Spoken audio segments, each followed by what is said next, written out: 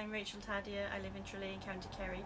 Um, my story is I was helping my sister uh, decorate and clean her new apartment, and after we'd done a lovely job and we cleaned and painted and everything looks spotless, um, we were just finalising things in the kitchen, and we walked away. Next thing there was a huge explosion, and all the cleaning stuff we looked at, we looked at it, the bottle, and it said use with caution, explosive and we'd mixed up more than just cocktails into our glass. We'd obviously mixed up a cocktail in the sink, so we had to start all over again.